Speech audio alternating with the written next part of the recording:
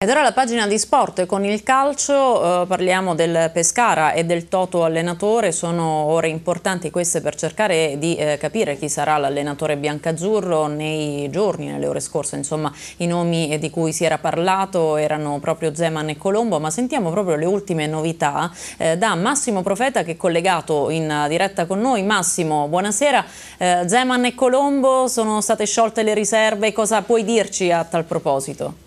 Sì, intanto ti saluto Anna, un saluto a te e a tutti gli amici di Visione dell'Ascolto, ma insomma la gestazione è stata piuttosto complessa, diciamo subito che Colombo è ad un passo dalla firma, ci sono tutti gli accordi, mentre Zeman è tagliato fuori. Da quello eh, che ci risulta non ha affatto influito l'aspetto economico tra le parti, ovvero tra Dellicari e Zeman ci sono stati solo contatti telefonici, neanche un incontro, il Neo DS Biancazzurro ha sondato la disponibilità l'attività del Boemo che è legato da un rapporto di consolidata amicizia e stima a um, Pavone, Peppino Pavone, tra l'altro ex giocatore e DS del Pescara. Zeman insomma ha fatto evidentemente delle valutazioni anche alla luce del rapporto burrascoso eh, nella precedente esperienza di quattro anni fa con il presidente del Pescara Daniele Sebastiani. Non è convinto di tornare a Pescara, probabilmente lo Zeman Ter sarebbe stato rischioso per tanti motivi motivi. Del resto i contatti telefonici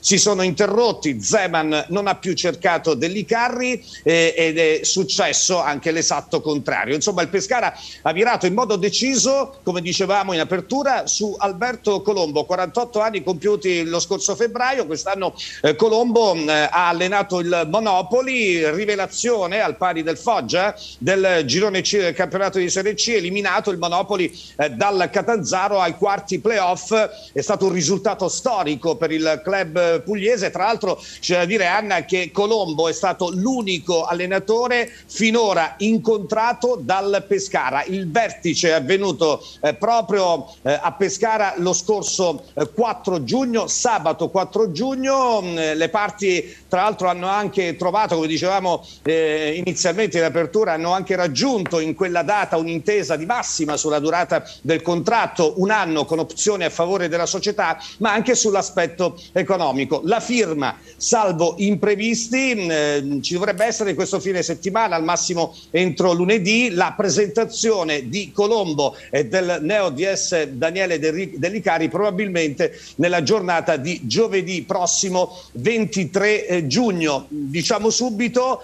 che non ci sarebbe, ma il condizionale è quanto mai di rigore, un altro candidato. A te.